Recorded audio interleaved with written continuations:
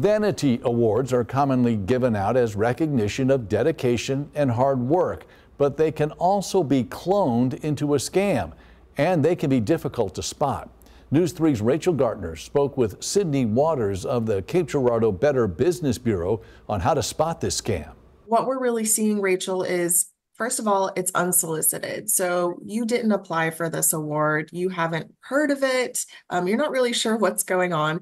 And you get either a text message or an email saying you've either been nominated or you've already won this award and you need to click this link and open the application. Hmm. Yes. And and as we talk about generally those links are they're dangerous. Right, right. Yeah, no um unsolicited links for me at all. But Right.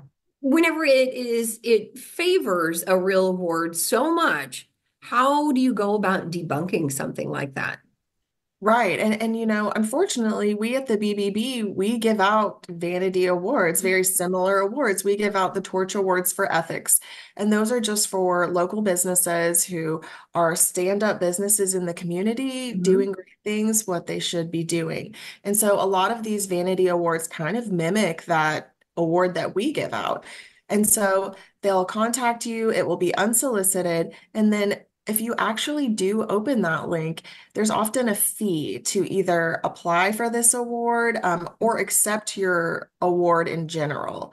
So if you get that, if something pops up and they want you to pay a fee right out the gate, that should be a major red flag for you to start doing a little research. You kind of have to just approach everything with skepticism these days, unfortunately.